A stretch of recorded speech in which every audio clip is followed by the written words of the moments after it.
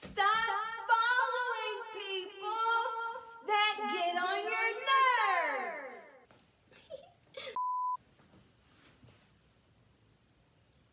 What's up, losers, and welcome back to another Every Freaking Wednesday. If this is your first time here, go ahead and click the big red subscribe button and give this video a big thumbs up because I promise you're gonna love it. And while you're at it, go ahead and click the post notification bell so you get notified every time I upload a brand new video. Okay, so what are we doing this week? Let's just get right into it. First of all, I just like to say thank you guys for all the birthday wishes last week and the late ones too. They all count. They all count. Today, I look. This is not a drama channel. These aren't the type of videos that I normally make, but it's just, it's something that's getting on my nerves. So I have to address it. okay, one moment. Put on my spectacles. Put on my spectacles. Okay, today we are going to discuss your options while on the internet, particularly social media. Because apparently, a lot of people don't understand that you have the option to unfollow, you have the option to keep scrolling, you have the option to put down your phone, to close the laptop. What you're not gonna do, what we're not gonna keep doing is keep being mean. People go out of their way to be and I I anyways, let me just back up to why I even got to this point. If you don't know, Gabbie Hanna, here she is. She has a podcast. She's been a YouTuber for a long while. Box of Thoughts, great podcast, great show. She does it with Irene Walter. If you haven't heard it, go check it out. It's a really fun show. Recently on her podcast, for like the last two or three episodes, Gabby and Irene keep addressing people who keep coming after Gabby for being a bad friend, for being fake, for being manipulative. They're saying Irene is her shadow, that she can. Why are you friends with Gabbie Hanna! Here's the thing. I, not that you guys care about little YouTuber drama. That, that's not the point here. The point that I'm getting at here is why, if you don't like a YouTuber, if you don't like an influencer, if you don't like someone's content, even if it's just a tweet, why do you continue to keep tabs on them? These people can relay every wrong thing that every wrong thing that Gabby has, and it, and this isn't exclusive to Gabby. I'm just I'm using her in this situation as an example because it's the most recent one on my mind, and she just so happens to be one of those YouTubers that people love to hate, and I don't get it. And even on her show, she even she even said that there's a girl who every tweet, every video, the same girl is always one of the first people to respond and always has something negative to say. But the girl doesn't follow her on anything. This this this Stan does not follow Gabby on anything. She's always the first one to comment, and it's always something nasty. And so Gabby finally got to the point and said, "Hey, what gives? Like, uh, okay, hello." And the girl says, Well, I just keep tabs on you to make sure you're being a good person. "Okay, look, Guys, we're not gonna agree with everything that our favorite influencers say. We're not gonna agree with every YouTuber. And I think that it's good that people feel bold to call people out if they're doing something wrong. But if someone's not actually hurting someone, if someone's not actually breaking a law or doing something like really outlandish, you really should feel no need to have to correct them. That is not your job. That is not your place. If you don't like what they're doing, they keep it moving. It, it's it's so much other things to do, and I another thing is we all know that the hate's not gonna stop. People love drama, honey. People love to say, "Well, why would you do that? You can't do that." If you're one of those people, stop. But also on the other side of the spectrum, if you're an influencer, stop with the apology videos. You know, if you really made a big boo boo, you know, make an apology. Because, you know, people say, oh, she should apologize. She should make, he should make a video. But these people, they make these videos and then you guys get mad because, well, they cried. They didn't cry. She made it about herself. she didn't address the issue. The apology video was too long. It wasn't short enough. Stop apologizing because you're not going to satisfy anybody anyway. So so why bother? You know, if you make a really, you know, a boo boo, like for instance, Jaclyn Hill. Here's Jaclyn Hill, beauty guru, YouTuber, great gal. You know, a couple of her recent releases of makeup, she's in combination with Morphe. A couple of Jaclyn Hill's releases over the last year have, have really um, they've had some issues. Not gonna go into detail. If you want to look it up, Jaclyn Hill, Morphe, lipsticks, eyeshadow, palettes, whatever. Go look it up. You can read about it.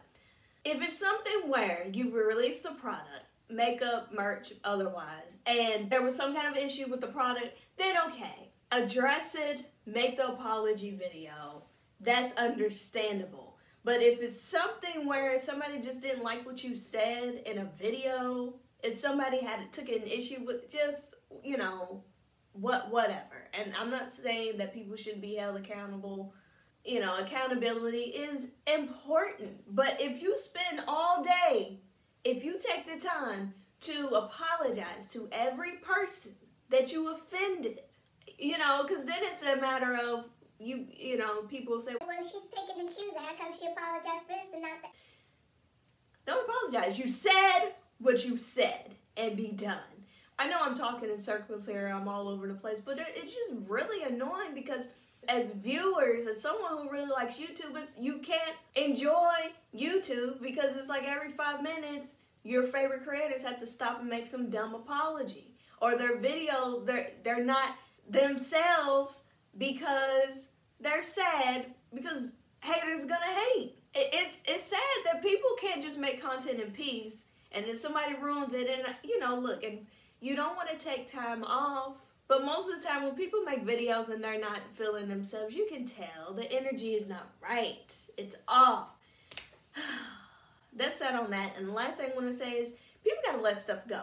If you if you are a fan of someone and they upset you but you choose to forgive them forgive them. Stop bringing up everything that they let it go. And if they did something that you can't let go stop following them or just don't just don't say anything at all.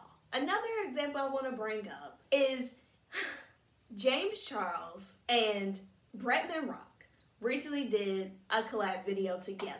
They haven't collabed together. I think this is the first time that they've ever done a video together. Not for any reason and, and of course, you know, all the be- all the YouTubers have to be best friends. All the all the beauty gurus have to be best friends. Oh, it must be drama. No, they just never got to do videos together because they have lives. They're busy. It's hard to connect with people. But anyways, they did a video together.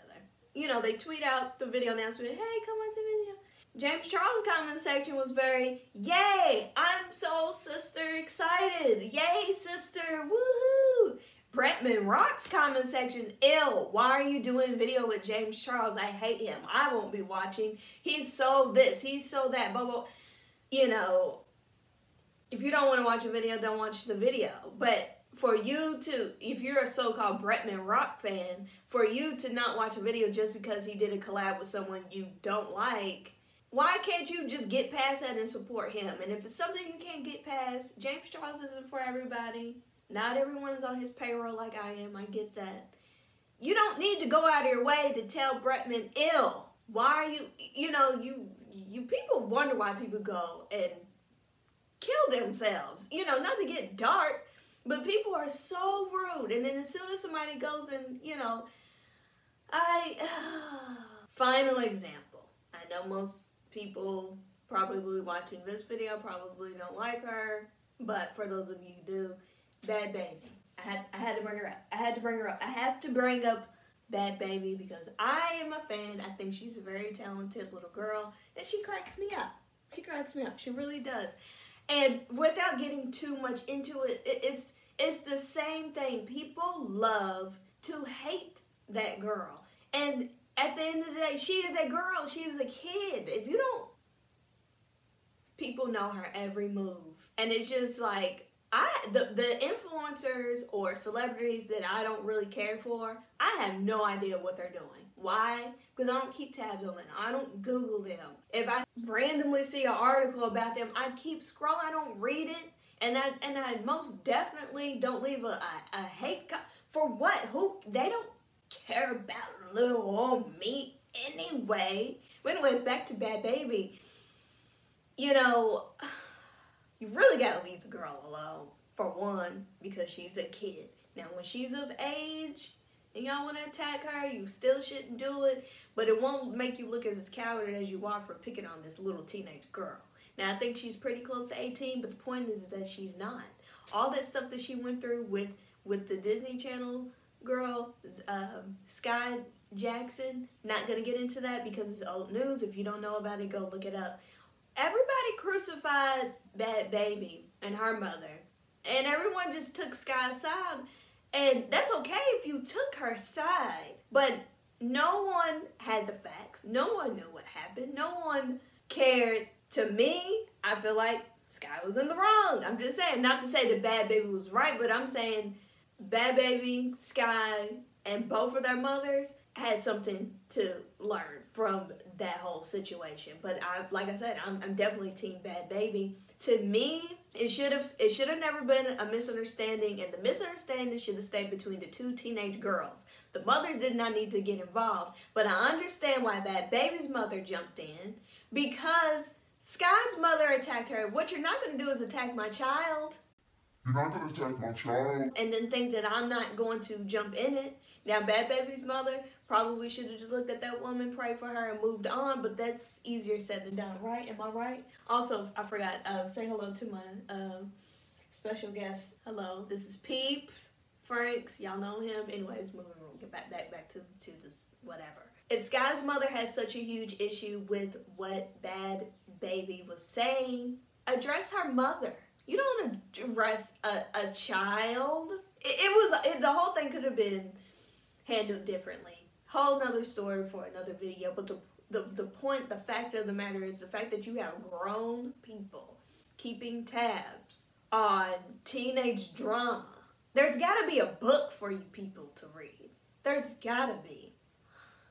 Anyways, I could go on and on. I have details for days. But anyways, the point of this video is stop keeping tabs on people that you don't like. It's that it's just that simple. It's that simple. And if you see someone giving praise to someone they love, don't don't comment under them and say, Ew, why do you like them? I don't understand. And Gabby, poor Gabby, you know, that, that girl can't catch a damn break. That that's that's for sure. Please go check her out. She has great content. She's been doing this for years, so clearly she knows what she's doing. Also go check out Irene. Irene is not Gabby's shadow. And another thing, one last thing. I know I keep saying this, but one last thing it's one thing to try to take up for someone, and I'm going back to people calling Irene Gabby Shadow. It's okay to try to take up for someone. But if in the process you're making that person seem like they are a spineless, mindless jellyfish, you probably need to check yourself because most people who are trying to take up for Irene are making Irene seem like she's just this oh, dumb girl can't take up for herself. This is a grown woman. And if for whatever reason she's happy in being in the friendship that she's in with Gabby, let her be in that. That's great that y'all want to take up for her and everything and look out. That's that's a that can be a beautiful thing. But the girl's happy. Y'all don't see everything. Everything. You see what they film and you hear what they talk about on the podcast. You don't know their friendship. And I'm not saying that their friendship is great or perfect because I don't know. But for you to assume that Irene is not the type of person they can evaluate a friendship and say, okay, Gabby does not need to be in my life, that's an insult. That's an insult to not only Gabby, it's an insult to Irene. That's not helping. It's not helping. If you want to call out someone for doing something illegal or mean, do that. But do it respectfully. Don't stoop to their level. If it's just something that you don't like what they said, then just don't like it and move on. Once again, I like to reiterate your options scroll, unfollow, unsubscribe. If you can't get away from it, uninstall your Twitter, uninstall your Instagram, uninstall your YouTube. Don't watch it. Put the phone down, close the computer. You have options. You don't have to be mean. And if you feel like you need to be mean, go get you a cold one. Go read a book. Go take a jog. Go do. There's got to be something better for you to do with your time than to be mean on the internet. Cut it out. Anyways, that's all I have time for for today, guys. Let me know in the comment section down below what you think and what your thoughts are. Is it okay to be a little mean? Are you mean? Do you go around bullying people? Has anyone ever bullied you? I want to know. Let me know. Give a compliment to someone today, either in person or online. Click subscribe, give the video a thumbs up, click the post notification bell, and I will see you in the next video. Peace out, niggas. Okay.